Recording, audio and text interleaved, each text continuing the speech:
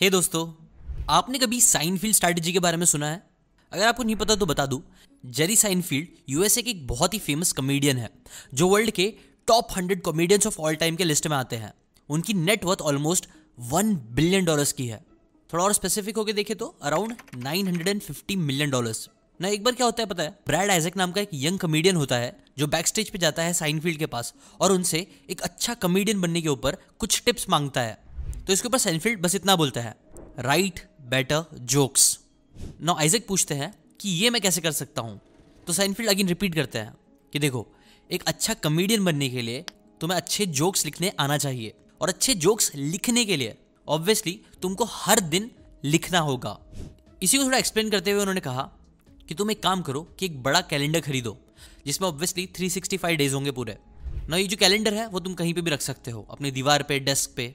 और उसके साथ में एक रेड मार्कर भी रख लो। और जिस भी दिन तुम एक जोक लिखते हो, उस दिन मार्कर से उस दिन को एक्स से क्रॉस कर देना। ना रेगुलरली जब कुछ दिन तुम ये करोगे ना तो तुम्हें तुम्हारे दीवार पर एक लाल क्रॉस की स्ट्रीक बनती हुई दिखेगी। ना तुम्हें क्या करना है कि इस लाल क्रॉस की एक स्ट्रीक जो बनी हुई है, उसे तोड़ने नहीं देना है। और जब तुम ये चीज़ रेगुलरली करते रहोगे तो एक टाइम आएगा कि 365 डेज़ कंप्लीट हो जाएँगे। और पक्का, इन 365 डेज़ में तुम एक अच्छे कमेडियन बन जाओगे। न ये सुनकर आइजे को बहुत वियर्ड लगता है। उन्हें लगता है कि यार, जो साइनफील्ड है ना, वो किसी किताब की बातें ही बोल रहा है। लेकिन नहीं साइनफील्ड उन्हें ये कन्फर्म करते हैं कि मैं भी इस चीज़ से ही एक अच्छा कमेडियन बना हूँ। यही मेरा सीक्रेट है। और कभी आना है तो तुम मेरे घर पे आके देख सकते हो कि कैसे मेरी दीवारें लाल क्रॉस से भरी पड़ी है। देखो दोस्तों, किसी भी हैबिट को सक्सेसफुली डेवलप करने के लिए ये one of the best strategy है, जो आपको भी डेवलप करनी चाहिए। फॉर एग्ज़ाम्पल अगर आपके अंदर आपको जिम जाने की हैबिट को बनाना है तो एक कैलेंडर लो और हर दिन एक क्रॉस डाल दो उसके ऊपर। और मान लो शायद एक दिन आप नहीं भी गए तो भी जब आप अपने कैलेंडर को देखोगे तो आपके अंदर से एक मोटिवेशन आएगा। तब अगर आप बस घर पे ही कुछ पुशअप्स मार लो या वर्कआउट कर लो तो भी आप उसे स्ट्रिक मार के अच्छा फील करोगे। और ये चीज़ आपको एक परसेंट बेटर बनाएगा। और जैसे कि एटॉमिक हैबिट्स में बताया गया आपको याद होगा, हर दिन बस एक परसेंट बेटर हो जाएँगे तो आप साल के एंड तक थर्टी सेवन टाइम्स बेटर हो जाओगे। अब ये वन परसेंट से बेटर बनते रहना, आप कर सकते हो हर दिन एक्टिविटीज़ करके। बट कौन सी एक्टिविटीज़ करना है? वो कौन सी सात एक्टिविटीज़ है जो आपको अनस्टॉपेबल बना सकती है, जो आपको लिटरली नीचे से बहुत ऊपर लेके जा सकती है। वही सात हैबिट्स आज मैं आपके साथ शेयर करने वाला हूँ, कई अलग अलग बुक के रेफरेंस से लेके, जो मैंने पिछले छः सात सालों में पढ़ी है। तो चलो देखते हैं एक एक करके उन हैबिट्स को जो आपको अपने अंदर डेवलप करनी चाहिए, इस साइनफील्ड स्ट्रेटेजी का यूज़ करके। पहली हैबिट है रीडिंग बुक्स देखो दोस्तों, आज आप ये जो वीडियो देख पा रहे हो, मेरी आवाज़ सुन पा रहे हो, आज मैंने जितनी भी चीज़ें अपनी ज़िंदगी में अचीव करी है, और इस यूट्यूब चैनल की वजह से जितने भी लोगों के लाइफ में मैंने इंपैक्ट करा है, वो सब हो पाया। जब मैंने अपने अंदर बुक से सीखने की हैबिट डाली, बुक रीड करना ऑडियो बुक सुनना, ये सब चीज़ करना स्टार्ट करी। बुक्स रीड करने ने लिटरली मेरी ज़िंदगी को पूरा कंप्लीटली बदल के रख दिया है। आज मैं जितना अपनी हेल्थ के बारे में सोच रहा हूँ, जितने मैं पैसे कमा रहा हूँ, जितना अच्छे मेरे रिलेशनशिप्स है, जितना मैं ज़्यादा हैप्पी हूँ अपनी ज़िंदगी में, उस सब चीज़ का एक बहुत बड़ा क्रेडिट जाता है बुक्स को। इसीलिए इस चैनल के थ्रू भी मैं आप लोगों के अंदर बुक्स रीडिंग का शौक पैदा कर रहा हूँ। क्योंकि मैं जानता हूँ कि बुक रीडिंग सच में आपकी ज़िंदगी कंप्लीटली बदल सकती है। और ये सिर्फ़ मैं नहीं बोल रहा हूँ आपको पता है, साल 2009 में scientist Timothy Keller and Marshall ने दुनिया के सामने एक एविडेंस रखा, जिसके अकॉर्डिंग रीडिंग क्या करता है ना, कि हमारे ब्रेन को खुद से फिजिकली रिवायर कर देता है। यानी अपने न्यूरल कनेक्शंस को वो और ज़्यादा बढ़ा देता है। प्लस साथ ही साथ रीडिंग की वजह से हमारे ब्रेन के अंदर जो व्हाइट मैटर होता है ना, वो भी बढ़ता है। ऐसा इसलिए बिकॉज़ जब भी आप रीड करते हो तो आप अपने पर्सपेक्टिव को चैलेंज करने लग जाते हो कई बार। अपने माइंड में नई नई इंप्रूव्ड इन्फॉर्मेशन रजिस्टर करते हो। वर्ड्स पढ़ते हो इमेजिन करते हो। पिक्चर्स क्रिएट करते हो और उस चीज़ के बारे में बहुत ज़्यादा सोचते हो, जो आपके ब्रेन के कई सारे पार्ट्स को एक साथ एक्टिवेट कर देता है। इसलिए रीडिंग को जिम से भी कंपेयर करा जाता है। जैसा जिम आपको फिजिकली स्ट्रांग बनाने में हेल्प करता है, वैसे ही रीडिंग आपके ब्रेन के मसल्स को स्ट्रांग बनाता है। और आपको पता ही होगा मेंटली स्ट्रांग होना कितना ज़्यादा ज़रूरी है ज़िंदगी में आगे बढ़ने के लिए। अभी आता है नेक्स्ट हैबिट पे, जो है pair your task with your biological prime times देखो दोस्तों, हम सबकी लाइफ है ना अलग अलग दिन से बने हैं।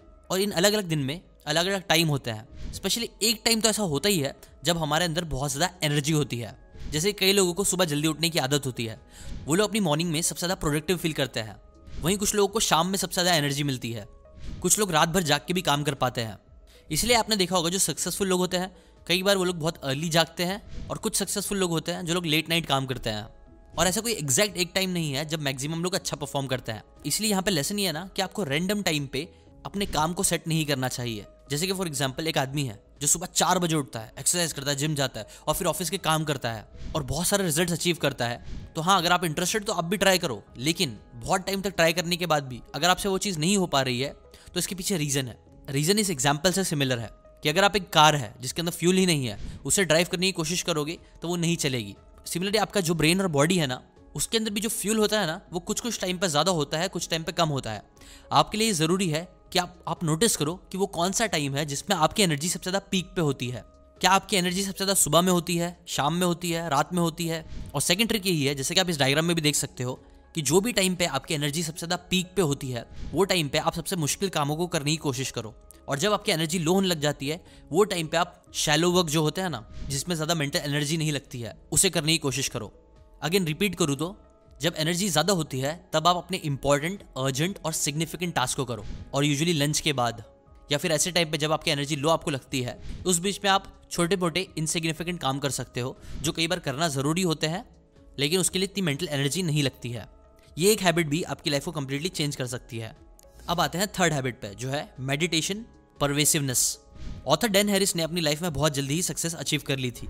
वो अमेरिका के one of the biggest news channels ABC के न्यूज़ एंकर बन चुके थे। बट इतनी सक्सेस अचीव करने के बाद भी वो बहुत ज़्यादा डिप्रेस्ड रहते थे। उनकी एनजाइटी बढ़ती ही जा रही थी। और एक दिन तो उन्हें लाइव टीवी पर पैनिक अटैक आ गया। और इस हादसे के बाद वो भी शॉक में आ गए। और फिर वो हेल्प ढूँढने निकल पड़े, जहाँ वो कई सारे गुरुज से मिले, जिनके उन्होंने इंटरव्यूज़ लिए। बट फिर भी उन्हें कोई प्रैक्टिकल सोल्यूशन नहीं मिल रहा था। देन फॉर्चुनेटली वो मेडिटेशन और माइंडफुलनेस की तरफ़ बढ़ गए। उनको इसके अंदर इंटरेस्ट आया। वो कई सारे डॉक्टर्स साइकोलॉजिस्ट न्यूरो साइंटिस्ट का इंटरव्यू लेने लग गए। जहाँ उन्होंने माइंडफुलनेस और मेडिटेशन के पीछे के साइंस को समझा जिसके ऊपर उन्होंने सालों रिसर्च करी और ये कंक्लूजन पे आए कि एनजाइटी और डिप्रेशन ये सारी चीज़ें माइंडफुलनेस और मेडिटेशन से ठीक हो सकती है। इनफैक्ट आपको पता है सिलिकन वैली में मेडिटेशन को software update for the brain बोलते हैं। वहीं वायर्ड मैगजीन में भी मेडिटेशन को टेक वर्ल्ड न्यू कैफिन भी बुलाया है। अब आप बोलोगे यार मेडिटेशन इतना ज़्यादा फैल क्यों रहा है दुनिया में? वेल well, बिकॉज़ अब साइंस भी इसके कई सारे फ़ायदे को प्रूफ कर रही है। साइंस प्रूफ कर रहा है कि कैसे मेडिटेशन स्ट्रेस लेवल को कम करता है, इम्यूनिटी को बढ़ाता है और आपके फोकस करने की एबिलिटी को भी बहुत ज़्यादा शार्प कर देता है। इनफैक्ट येल यूनिवर्सिटी के एक स्टडी के अकॉर्डिंग ये देखा गया है कि जब हम मेडिटेट करते हैं ना तो हमारा ब्रेन का वो हिस्सा कंप्लीटली डीएक्टिवेट हो जाता है, जो यूजुअली नेगेटिव थॉट्स जनरेट करता है। मतलब पॉजिटिव रहने में भी मेडिटेशन बहुत हेल्प करता है। हार्वर्ड में करी गई एक एम स्टडी में ये देखा गया था कि जिन लोगों ने ना आठ वीक का माइंडफुलनेस का कोर्स लिया था जहाँ वो आठ वीक्स तक लगातार हर दिन मेडिटेट करते थे, वहाँ देखा गया कि लोगों का ग्रे मैटर बढ़ रहा था। उनके अंदर एम्पथी सेल्फ अवेयरनेस ये सारी चीज़ें बढ़ रही थी और नेगेटिविटी भी उन लोगों की कम हो रही थी। ऐसी जब फिर ऑथर ने भी मेडिटेशन को प्रैक्टिस करना स्टार्ट किया तो उन्होंने नोटिस करा कि कैसे वो यूजुअली बस पास्ट के बारे में सोचते रहते थे या फिर फ्यूचर के बारे में एंशियस होते रहते थे। लेकिन फिर जब मेडिटेशन उन्होंने किया तो उनको शांति मिलना स्टार्ट हुई। उनका ब्रेन एक्चुअल में रिलैक्स होना स्टार्ट हुआ। जैसे कि आपको पता ही होगा कि जब हम लोग सोते भी है, तब भी हम लोग का ब्रेन काफ़ी एक्टिव होता है। मतलब काम कर ही रहा होता है। जबकि जब हम लोग मेडिटेट करते हैं तो एक सिंगल टाइम होता है, जब आप बोल सकते हो कि जो हमारी हैवी मशीन है, जो कॉन्स्टेंटली ट्वेंटी फोर सेवन चल रही होती है, उसे थोड़ा रिलैक्सेशन का टाइम मिल पाता है। इसीलिए आप भी मेडिटेशन की हैबिट ज़रूर डालो। और फिर आते हैं नेक्स्ट हैबिट पे, जो है बिल्ड मसल्स देखो दोस्तों, एक बात एकदम सच सच बोल रहा हूँ। एक आदमी का कई बार मैनली दिखना बहुत ज़रूरी है। देखो दोस्तों, आजकल के टाइम पे तो इस टॉपिक से रिलेटेड कई सारी कॉन्ट्रोवर्सीज है। लेकिन पर्सनली मुझे लगता है ना, एक आदमी का आदमी जैसा दिखना अच्छा है। और वन ऑफ़ द बेस्ट चीज़ जो मेनली दिखने के लिए आप कर सकते हो वो है मसल्स बिल्ड करना मस्कुलर स्ट्रांग बनना फिट रहना। बिकॉज़ देखो, जब आप है ना फिजिकली अट्रैक्टिव बनते हो तो ऑटोमेटिकली आपका जो सेल्फ कॉन्फिडेंस होता है ना, वो मिरर के सामने अपने आप को देख के ऑटोमेटिकली बढ़ने लग जाता है।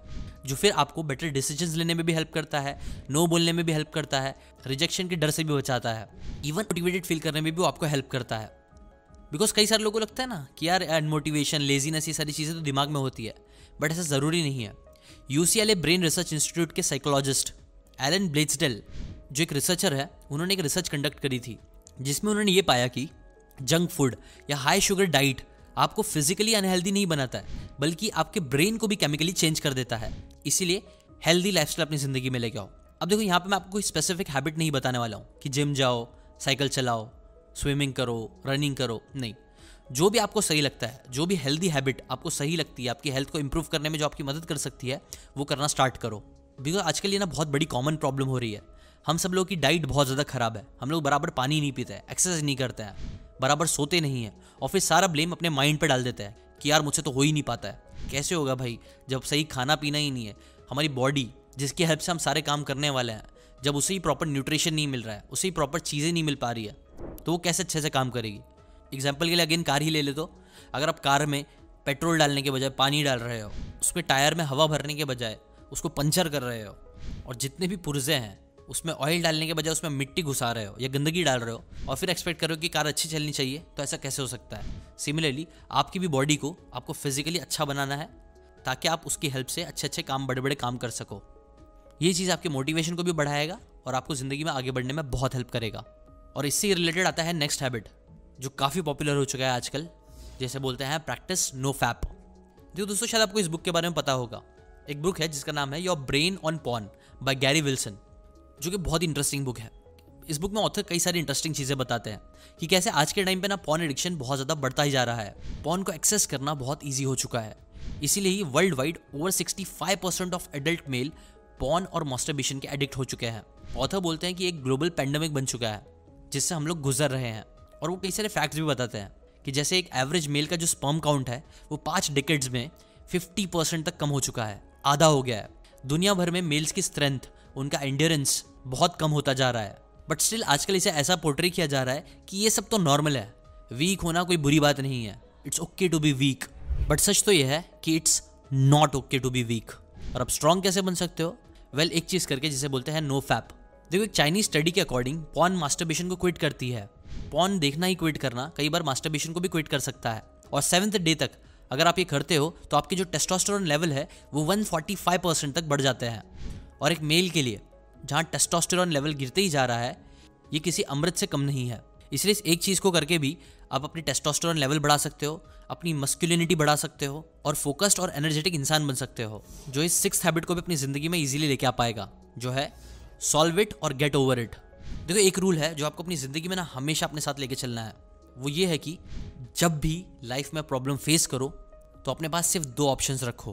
पहला, या तो उस प्रॉब्लम को सॉल्व करो, या दूसरा, उसे भूल जाओ। ना, ये सुनने में काफ़ी सिंपल लग रहा होगा, पर आपको पता ही है, ज़्यादातर लोग ये दोनों चीज़ें ही नहीं करते हैं।